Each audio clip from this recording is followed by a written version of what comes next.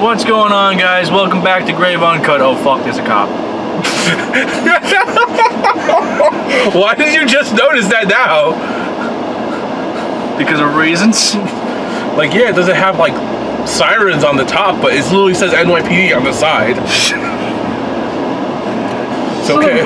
Okay, officer, we're just smuggling drugs. West, then slide left onto the Korean War Vets Parkway. It's only drugs, officer. Nothing more. You see, Reyes, this is why we got pulled over the last fucking time! But it's funny though, he kept on looking at me. I was just like, it's just drugs, sir. It's just drugs. They don't kill anyone if you take too much of it. Just for future reference, if you see the cameras bouncing around a lot, why we're not centered, it's because of reasons. Well, it's very obvious. You're driving a car. I know. Continue for seven miles. Well, apparently we're continuing for seven miles, Oh boy. and you binged. I will bing all day.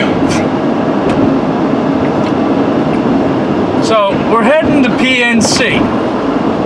Ye- Would you like to let them know who we're seeing? So, today we are watching Bad Wolves, Nothing More, Five Finger Death Punch, and Breaking Benjamin. In that order. How hyped are we? I'm on four hours of sleep, and this is still the greatest moment so far.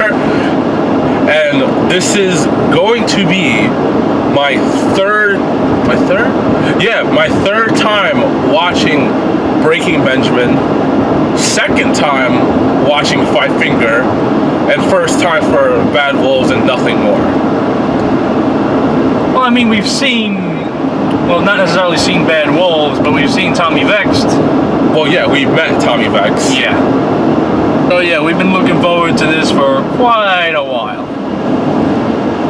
I think we prepared we prepared five months just for this. We told our jobs, fuck off. Oh dear.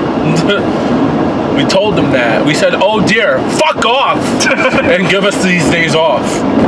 I know I did. I I did it five months in advance, and that's it. Nothing else. Well, I told my job last week. I'm like, I'm not working Saturday. in a nutshell. So, but right now, I'm so hyped. Um, I said it in the previous video that I've done on my channel that I am a diehard Breaking Benjamin fan. So, third time watching Breaking Benjamin. It's phenomenal. Can't wait. Five Finger Death Punch, huge fan. Can't wait for that either. Nothing Uh, more. That's the one band that fucking set me set me loose for. I'm like, I'm like, five finger going, going, going. And it's actually the second time we've actually. I think it was PNC we saw five finger the last time. yep. Hopefully. Uh, if you ha- haven't seen the last video where me and Reyes were actually doing this, that was actually back in the Nerds at War days. Mm-hmm. That video is up on the Nerds at War Facebook page if that's still active. Uh, it's not active, but it's probably still there. Yeah, it's still floating around. but so far, I'm really excited because both bands have new material. Well, correction. Breaking Benjamin and Five Finger Death Punch has new New, album, material. new albums out altogether. So I'm very curious what songs they're gonna add in because again, these are bands with long history in the music industry. So Five Finger has been around since uh, since 05. mhm, Ben, Breaking Benjamin, I'm sure, has been around for how long? 98. 98 was when they started. Yeah. They had this. And Bad Wolves is fresh. yeah, Bad Wolves is fresh. Bad Wolves started This year, I think. I think Yeah. This year or last year. Um, I want to say last late last year, and then they released the album this year. Yeah. Well, interesting thing about uh, Bad Wolves, Tommy Vex was actually originally in Westfield Massacre. Wasn't he the founder of Westfield Massacre? I don't. Uh, mm, yeah, actually, I remember. It was him, Tim Yeung. They started Westfield. They got new members, and now he's not not there anymore. But it's whatever. Tommy Vex is doing amazing stuff with Bad Wolves. You know, they just got their platinum for their cover of Zombie. That cover was fucking amazing. So I'm I'm excited for them. I'm glad that they're doing great. You know, they're getting a lot of good feedback, and hopefully they just stick to it and make more kick-ass music. But right now, I want to know what is the one newest song from both Five Finger and Breaking Benjamin that you want to hear live? That I want to hear live, Yeah. And we're talking like their new material. Mm-hmm. All right, as far as Five Fingers concerned, the songs I wanna friggin' hear would be. Now I know this song was a cover, but I want to hear Blue on Black. That's a good one. Another one from them I want to hear was their the actual their single off the album uh, Champagne. Champagne. Yeah, they had a song called Champagne. S H A M P. It was like when they were shitting on the record when they shit on the record label and whatnot. You didn't hear that song? Champagne? Yeah. Are you talking about um champagne? Yeah, that one. It's not champagne. I got it on my iPod right now. Who are you gonna tell? I'm pretty sure it's called. Wait, is it called champagne? it's called Champagne. I thought it was called sh- um champagne. No, Champagne. Because if you if you remember from the freaking uh, lyrics, they say the phrase "It's all champagne." I don't remember that. All right, look, and justice for none. Champagne, right there. Oh. Ah! No, because I thought it said um sh- um. You know, whatever. I'm I'm dumb. Reyes had a brain fart. I am dumb. But but like one of the heaviest songs that I really want to hear. Um, hold on. that's just, you're not a true fan. I am a true fan. Don't fucking bullshit with me. You're not a true fan. You don't know. I'm sorry. I gotta look at my fucking iPod while I'm driving. you're not true.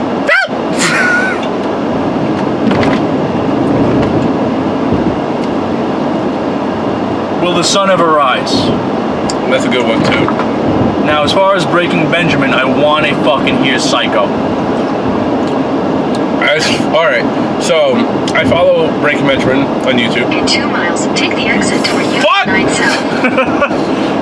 But I follow Breaking Benjamin on YouTube, and that is a song that they usually do live. So hopefully they do it today. Um, I know personally, as long as I can hear Rock Bottom, and it doesn't matter, by Five Fingers Death Punch, I'll be very happy. Oh, that that. I want to hear Rock Bottom, but like I want everyone who's like not in the C area to start doing rock bottoms on everyone, like The Rock. I still. I, you know? I wonder, I wonder if somebody did, did this video on YouTube where they had the song Rock Bottom playing, and every time they said the phrase Rock Bottom, all they had in, in place of that video was a video of the Rock actually. But that would be bottom. amazing. That that should be The Rock's new theme song, Rock Bottom. But yeah, Breaking Benjamin, they have this one song. It starts with a T. I can never pronounce it correctly. I want to hear that song live. Um, it's like some long word for some odd reason. But that, um, Feed the Wolf, I definitely that's a want good to one. hear that live. Um, I want to hear the whole album live. just fucking play all your songs, Breaking Benjamin. I'll be there. Every song, including the, the bonus tracks you released. As far Blow me away. it's funny because it's not even on an official album, and they play that song. I think that was just a sound. That was just a soundtrack for Halo 2, no? yeah, it was. Fuck. Uh, Goddamn slow zones. but I am so excited. Bad Wolves.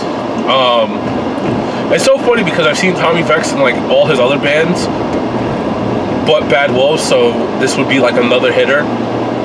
So I, I, I have, you know, the thing is with Bad Wolves, I know, I being that they only have one album and the album only had what ten tracks. Take the exit I toward think so. US 9 South. The odds are they're gonna play a majority of what they have out, if not the whole goddamn album what they got. probably. Um, I'm more interested in their heavier works than. Although I love the song "Remember When." Remember When is a good one. I like that song. The funny thing is, I had no idea he had a twin brother. Yeah, it's a very powerful story to that. 9 South. Then keep right. I feel like Bad Wolves, like I don't know, I'm very open about this. Um, I liked Westfield Massacre a lot more than Bad Wolves. Well, Westfield was a lot heavier. Yeah, that's the thing. I liked it because it was a lot more heavier. Um, that and also had Tim Yeung. For anyone who doesn't know, Keep Tim right. slut. But Tim Yeung was pretty much he was the drummer of Morbid Angel and Divine Heresy, which that's where Tommy Vex got his original start before the actual band Vex, before they redid Vex. And I loved fucking Westfield Massacre. Oh yeah. I love Tim Yeung. I think he's a The fact, the phenomenal fact, drummer. the fact that they booted Vex out of Westfield, I, I find that really fucked up. It's it is, but it worked out so much better for him No, I, I agree with you, but I'm just saying it was just fucked up, the, fucked up the way they did it. because they started Westfield Massacre first, and then um, Bad Wolf started up on the side, and he was doing two bands at once, and Westfield felt like I don't know, they probably felt super salty about that. So what happened was that they decided like, hey, you know, because you keep on doing your other thing with Bad Wolves, we have to let you go and stuff like that, and So they wanted him solely yeah, with Westfield. but you know what? Like I said, everything works out for a reason because you know what? When he, uh, when they kicked him out, he joined Bad Wolves permanently. Obviously, they toured. They got signed to um, what's his face's record label? Wasn't it, wasn't it Zoltan's? Yeah, Zoltan. Um, 11-7. and they're doing so much better, so much Hell yeah. you know, they already traveled most of the world already, you know, due to Zoltan and stuff like that. Um, Tommy had so many like opportunities to like get out there. Let's put it this way. Tommy did a lot as far as like getting his name out there alone, along with Bad Wolves.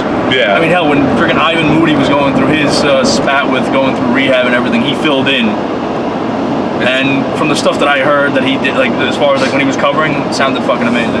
yeah, Tommy Vex killed it, and hopefully it's probably gonna happen sometime tonight. Tommy Vex is gonna join up with um, Five Finger Death Punch, and then probably gonna be banging out all that stuff. Now, in this video, I'm gonna try to include at least as much as I can of the shows.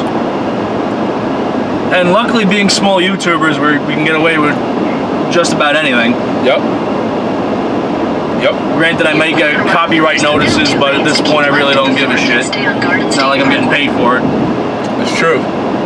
I know because when I do my new series, Reyes Reacts, when I react to music videos and music, I get hit with those all the time, but they don't take down my videos. They'll be like, hey, Use the middle two just letting you know, this music's copyrighted. Like, yep, I know. I'm not gonna monetize it. Keep left at the fork. But I don't see. Oh, that's the fork. Okay, never mind. Continue on Garden State Parkway. But there's no actual fork in the road. You're a fork. You're a dildo. Yep. All right. So how about what got you into listening to? Uh, fuck you!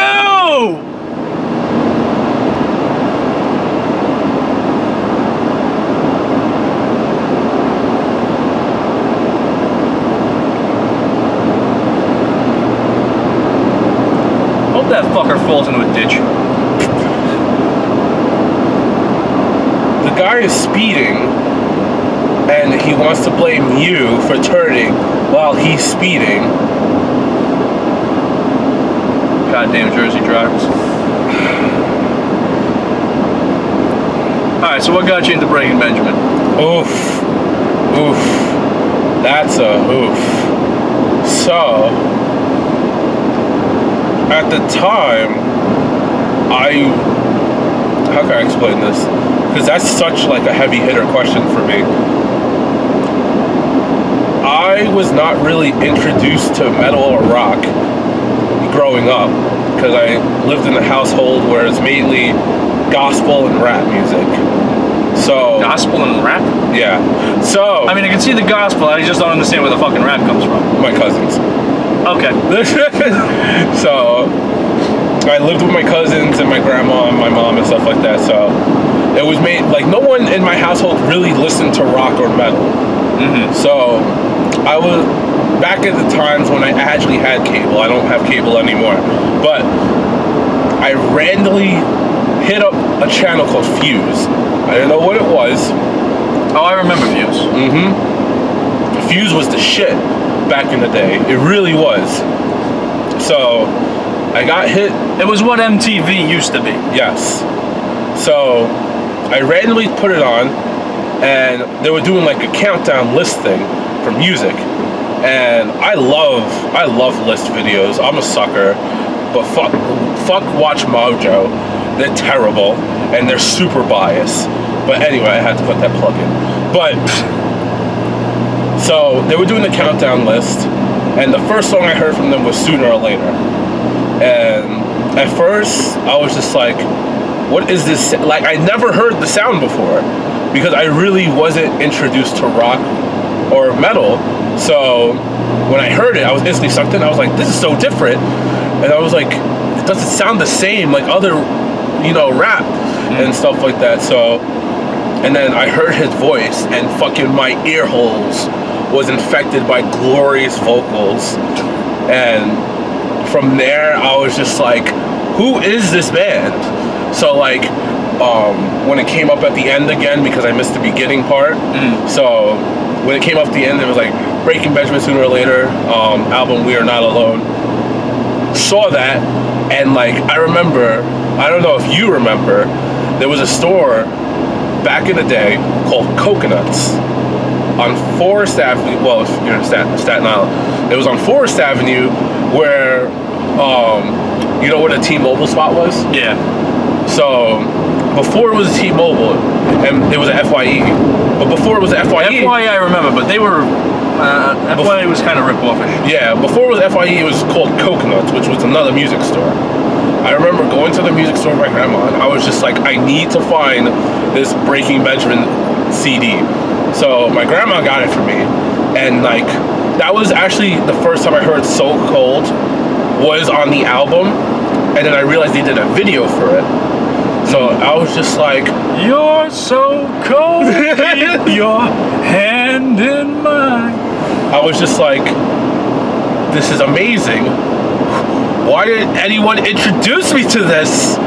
So, and the, the funny thing is, too, being raised on horror movies and stuff like that, I only heard this type of music for background music. Mm. So when I actually had it full, you know, fledged in my face, I was like, holy shit, this is so much better than rap. and like, from there, I was just, I was sucked in. I was sucked in instantly, you know, because I remember the first band I ever heard in my life was Seether, Ah, the song Remedy in 05. Was it 05? No, no, 04. So, again, very sheltered. I wasn't introduced to rock or metal. So, besides it being background he music. came out of his shell. so, Seether is what got me like peaked into like watching like rock music and stuff like that. But Breaking Benjamin is what got me sold on it. So like from there, like I just followed Breaking Benjamin religiously, and if it wasn't for Breaking Benjamin, I would have never picked up bass. I would have never picked up guitar. I would have never done any vocals. Like pretty much my whole music career is because of Breaking Benjamin, and that's why I love Breaking Benjamin so much.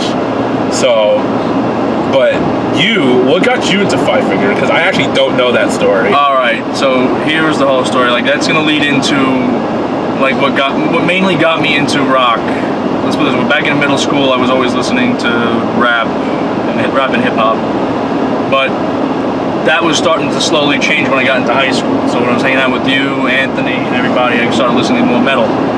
But the, I remember the first band I ever listened to, as far as metal wise, was Disturbed. Now I'm a huge, you know how big of a Disturbed fan I am. Yep. I am a die-hard fucking Disturbed fan. I'm a Disturbed one through and through.